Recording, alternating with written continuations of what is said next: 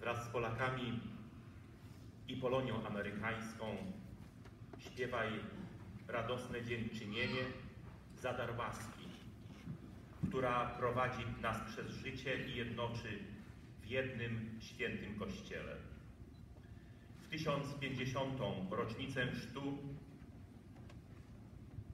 z radością powtarzamy słowa dobrze znanej nam pieśni. Przez Chrztu Świętego wielki dar, o Chryste z Twej hojności, Twym dzieciom wiary dałeś skarb, nadziei i miłości. Śmiało możemy powiedzieć dzisiaj, że uśmiecha się do nas lato, że przyroda nabrała jakże dynamicznego rozwoju. Świat zewnętrzny, otaczający nas, dopomaga w roku jubileuszowym Bożego Miłosierdzia ogłoszonym przez Ojca Świętego Franciszka Bogu Ojcu Wszechmogącemu dziękować za jubileusz narodzin Polski do nowego życia. Tysiąc pięćdziesiąt lat tego jubileuszu daje nam możliwość tu i teraz spojrzeć śmiało w przyszłość. To u początków polskiego państwa Kościół, jak wiemy, przyniósł Chrystusa. To znaczy klucz. Jest to klucz wielkiej i podstawowej wartości, jaką jest człowiek. Człowieka bowiem nie można do końca zrozumieć bez Chrystusa. A raczej człowiek nie może siebie sam do końca zrozumieć bez Chrystusa. Mówił nasz współczesny święty Jan Paweł II. Nie rozumie człowiek do końca, kim jest, jaka jest jego droga, jakie jest ostateczne jego przeznaczenie. Dlatego dzieje Polski oraz ludzi wywodzących się z kraju nad Wisłą przez wieki żyją w Chrystusie, czerpią z łaski Chrztu Świętego. Nasz naród zasługuje na właściwą ocenę według tego, co wniósł w rozwój człowieka i człowieczeństwa, w świadomość, w serce i w ludzkie sumienie. To dzięki wierze, która jest owocem Chrztu Świętego, Wszyscy jesteście synami Bożymi w Chrystusie, bo wszyscy, którzy zostaliście ochrzczeni w Chrystusie, przyoblekliście się w Chrystusa. Wiara umacnia się poprzez możliwość dawania jej innym, a solidarność z ubogimi, z prześladowanymi zyskuje na życzliwości Pana, który będąc bogatym, zechciał stać się ubogim, aby nas swoim ubóstwem ubogacić i aby nas zbawić. I tu doskonale rozumiemy, że chrzest Mieszka I stał się źródłowym wydarzeniem w dziejach Polski. Tak bardzo ważnym dla tożsamości i zarazem ważnym dla duchowości naszego narodu. Wpisał się i wpisuje w życie religijne, w życie państwowe, narodowe, kulturowe, społeczne. Jesteśmy tego nieodłącznymi świadkami.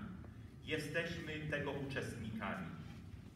Wiara katolicka wciąż stanowi o naturze kultury polskiej, mimo że nie każdy Polak, dostrzegamy to współcześnie, jest katolikiem. Co więcej, pojawia się w narodzie wielu zadeklarowanych przeciwników darów płynących z łaski Chrztu Świętego. Pod naciskiem dzisiaj sekularyzmu pojawia się i w Polsce, i poza jej granicami utrata pamięci, utrata dziedzictwa chrześcijańskiego, któremu towarzyszy swego rodzaju praktyczny agnostycyzm, któremu towarzyszy także religijna obojętność. One powodują, że osoby tym owładnięte żyją bez duchowego zaplecza. Niczym spadkobiercy, co swoje dziedzictwo roztrwonili. Wielu ludzi nie potrafi łączyć dzisiaj ewangelicznego przesłania z codziennym doświadczeniem. W wielu miejscach łatwiej jest deklarować się nam jako obojętni lub obojętne religijnie, niż jako wierzący. Odnosi się wrażenie, że jak mówił papież Benedykt XVI, niewiara jest czymś naturalnym, a wiara czymś, co wymaga uwierzytelnienia społecznego, które nie jest ani oczywiste, ani przewidywalne. I z taką właśnie utratą chrześcijańskiej pamięci wiąże się swego rodzaju lęk. Ten lęk nam towarzyszy. Mówimy dzisiaj o lęku przed przyszłością, bo dzisiaj bardziej człowiek boi się przyszłości niż jej pragnie. Popatrzcie, ile jest strachu, ile lęku o bezpieczeństwo, ile lęku o zdrowie, o pracę, o pomyślne rozwiązania czy rezolucje.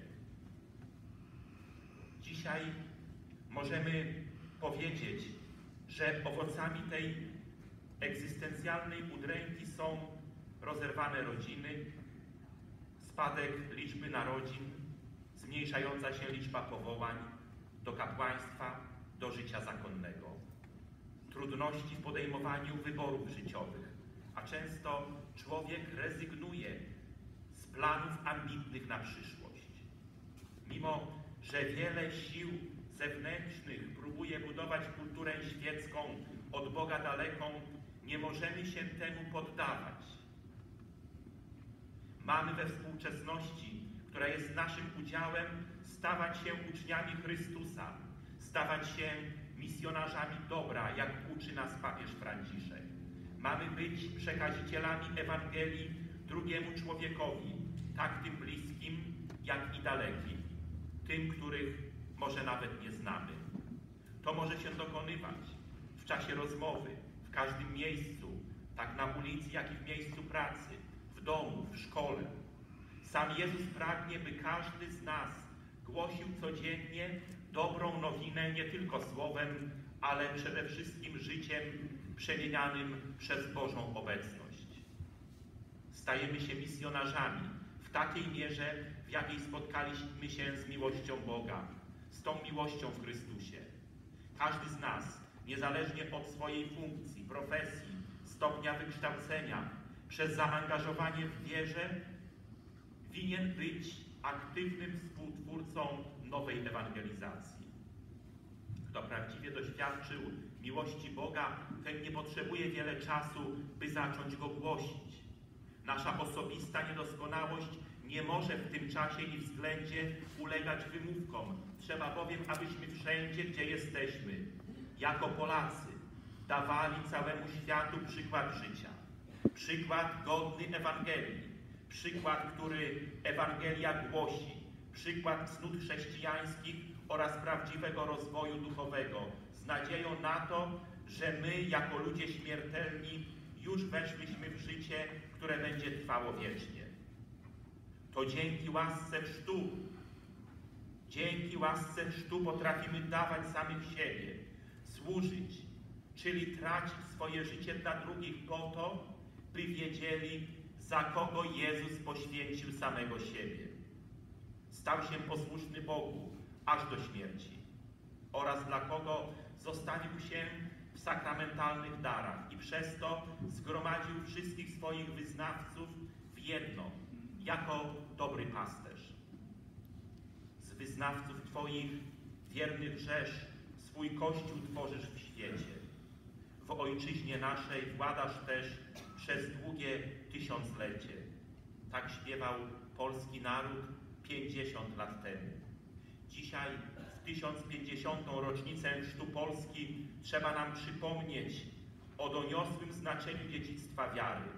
Trzeba to dziedzictwo zachowywać każdego dnia w miejscu, gdzie przyszło nam budować swoją doczesność. Należy rozbudzać pamięć o naszym chrzcie, gdyż jesteśmy wezwani, by żyć łaską chrzcielną każdego dnia. Jeśli mimo naszych ograniczeń, słabości i grzechów udaje się nam iść za Jezusem i trwać w Kościele, to dzieje się to jedynie ze względu na ten sakrament, dzięki któremu otrzymaliśmy nowy rodzaj życia. Jako Polacy, tu w Stanach Zjednoczonych, jako Polonia amerykańska, możemy być i jesteśmy dumni z naszej tożsamości. Na tym jednak nie poprzestajemy, albowiem budujemy tu i teraz piękny wizerunek Polski, naszego duchowego, kulturowego dziedzictwa. Tak jest i tak niech będzie. Niech wierność naszym korzeniom trwa i owocuje przepięknym świadectwem chrześcijańskiego życia, którego motorem jest największa z cnót, a jest to cnota miłości. Przez Twoją Chryste zbawczą krew, bolesne Twe kochanie, niech z serc ustąpi wszelki gniew i miłość zmartwychwstanie. Amen.